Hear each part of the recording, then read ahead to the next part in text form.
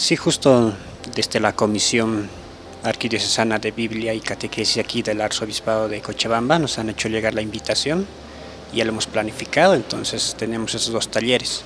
Sobre todo vamos a presentar lo que se está hablando ahora, hoy en día, toda Latinoamericana, sobre lo que es la iniciación a la vida cristiana en el ámbito de la catequesis.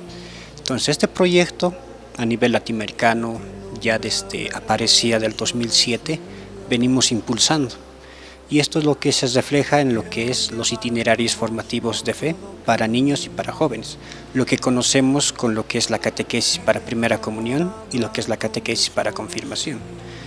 El proyecto así, a nivel general, se trata de, de responder a esta cuestionante que se está dando como un fenómeno, ¿no? Muchos, muchas iglesias vacías, niños que después de haber hecho, realizado la primera comunión o la confirmación, ya nos retornan. Entonces, este es un proyecto general para que formemos buenos cristianos. Entonces, el mismo término de decir eh, lo que los catequistas hacen, la invitación a la primera comunión, te limita, te cuestiona y solamente es por cumplir el sacramento y después se van.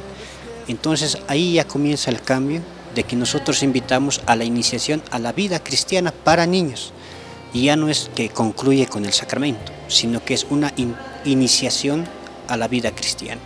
Y eso es lo que nosotros planteamos dentro de lo que es en los textos de catequesis de los itinerarios formativos. Entonces, este proyecto, este nuevo paradigma, este nuevo modelo de catequesis se intenta articular con las demás eh, pastorales específicas, ya sea liturgia, misión, ministros, catequistas.